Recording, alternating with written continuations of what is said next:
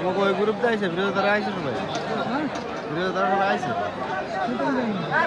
চল্লিশ নম্বর চল্লিশ চল্লিশ নম্বর এসো।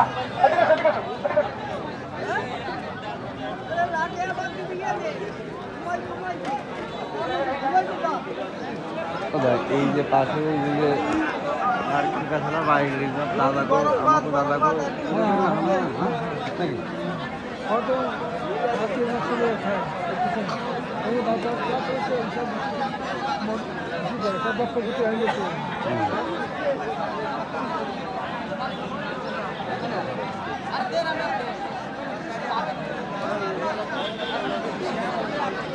প্রিয় বন্ধুরা, আজকে আপনারা দেখতে পাচ্ছেন এই যে অনুষ্ঠানটি হচ্ছে আমাদের আমার পুরো এক ভাইয়ের আজকে প্রায় সাড়ে তিন হাজার মানুষের একটা বিশাল আয়োজন।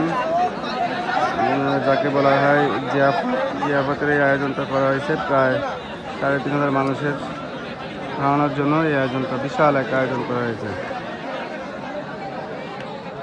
তারা বসতে পারে না তারা একটা অনুগ্রহ